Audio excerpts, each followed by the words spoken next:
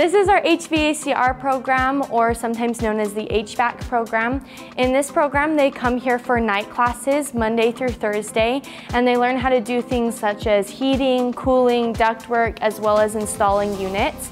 Uh, our HVAC program is also very different from any other in the state because it's HVACR. The R at the end stands for refrigeration. So not only do they teach you the heating and the cooling side of things, but they also spend a large portion of the program focusing on refrigeration. So you can do commercial refrigeration, refrigeration within somebody's home, as well as things like ice cream machines and soda machines.